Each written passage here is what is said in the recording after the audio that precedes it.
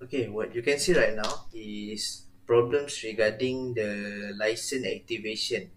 You already have license, but this could happen if you are not connected to any network or internet or your Wi-Fi block your access. So, what you can see here is you can see here it say establish internet connection and also on the top right you can see the click UI button which show the number of days remaining before you get denied access.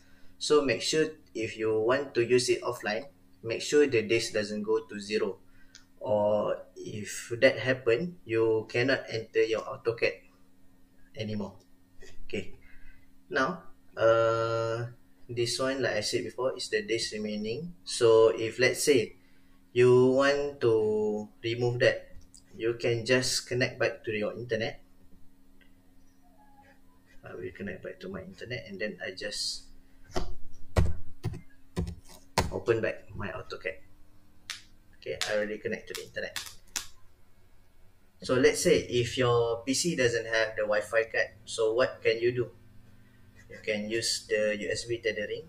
Okay, you can just connect your wire to your phone, your cable to your phone, and then just open your portable hotspot with USB tethering you can just use your internet for a while okay just to activate your license okay let's say like this. You can see the days remaining is already gone.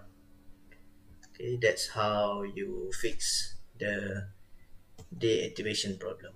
Thank you